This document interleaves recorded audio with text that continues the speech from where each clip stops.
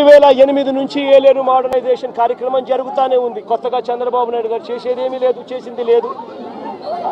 రెండు వేల ఎనిమిదిలో ఆ దివంగత ప్రీతమ నాయకుడు రాజశేఖర రెడ్డి గారు ఏలేరు రిజర్వాయర్కు సంబంధించి నాన్నగారు మోడర్నైజేషన్కు శ్రీకారం చుట్టాడు అప్పట్లో నూట ముప్పై ఎనిమిది కోట్ల రూపాయలు కేటాయిస్తూ ఆ దివంగత నేత ప్రీతమ నాయకుడు రాజశేఖర రెడ్డి గారు నాన్నగారు ఏలేరు కెనాల్స్ ఏలేరు కెనాల్కు సంబంధించిన మోడర్నైజేషన్ కార్యక్రమం చేపట్టాడు నాన్నగారు చనిపోయిన తర్వాత మళ్ళీ ఆ కార్యక్రమం ఎవరు పట్టించుకోలేదు. చంద్రబాబు నాయుడు వచ్చాడు రెండు వేల పదహైదు రెండు వేల పద్నాలుగులో. మరి ఆయన ఏమైనా పట్టించుకున్నాడా? రెండు వందల తొంభై ఐదు కోట్లకు అంచనాలు పెంచాడు.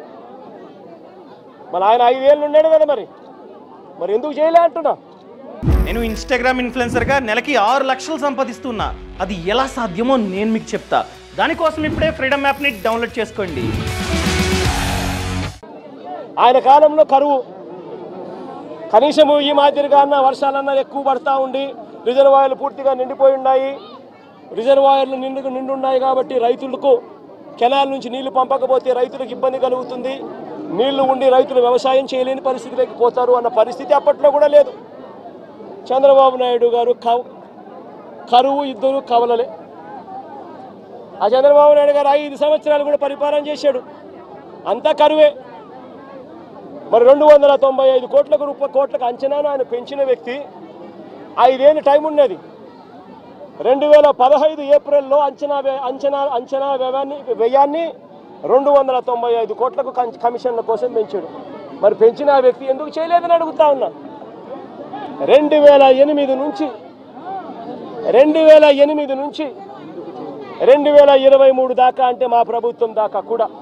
ఇంకా మా ప్రభుత్వంలో వైఎస్ఆర్సీపీ ప్రభుత్వంలో ఇంకా చేయలేకపోయే మోడర్నైజేషన్ అనుకున్న అనుకున్నంత వేగంగా అనే దానికి కారణమన్నా ఉంది. కారణం ఏమిటంటే ప్రతి సంవత్సరము బ్రహ్మాండమైన వర్షాలు పడతా ఉన్నాయి. రిజర్వాయర్లు పూర్తిగా నిండున్నాయి. ఆ టైంలో క్రాప్ హాలిడే డిక్లేర్ చేసి రిజర్వాయర్ నిండుగా పెట్టి క్రాప్ హాలిడే డిక్లేర్ చేసి రైతులను ఇబ్బంది పాలు చేయడం ఇష్టం లేక కొద్దో గొప్ప మోడర్నైజేషన్ కార్యక్రమంలో కొద్దో గొప్ప మేము అనుకున్నంత వేగంగా చేయలేకపోయి ఉండొచ్చు.